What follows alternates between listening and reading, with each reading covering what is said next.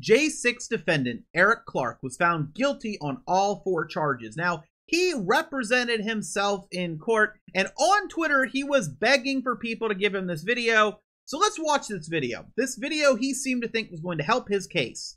They set us the fuck up. That's what they did. They set us up. They set up 64. Oh, absolutely.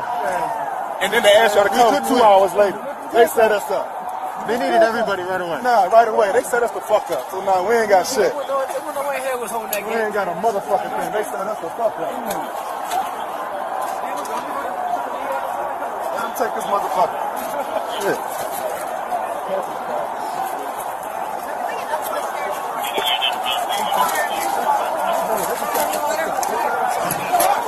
They set us the fuck up. That, that, that shit I'm, I'm hot, I'm hot, I'm hot. Here, you need water? Nah, here, here.